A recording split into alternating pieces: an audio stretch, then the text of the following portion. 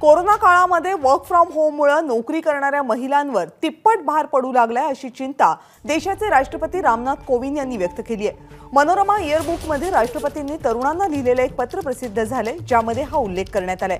महिलांवर नोकरी आणि घरकाम या दोन्हीचं ओझं आहेच. याशिवाय कोरोना काळामध्ये मुलंसुद्धा घरूनच शाळा शिकू लागली आहेत. त्यांच्याकडे लक्ष देणं आणि त्यांची काळजी घेणं हे कामही आईवरच येऊन पडतं असं राष्ट्रपती यांनी या पत्रामध्ये म्हटलंय. शिवाय पुरुषांनी आपल्या जोडीदाराचा थोडा भार हलका करावा असा सल्ला सुद्धा त्यांनी दिलाय.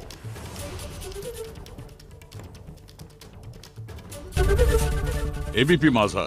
उघडा डोळे बघा नीट.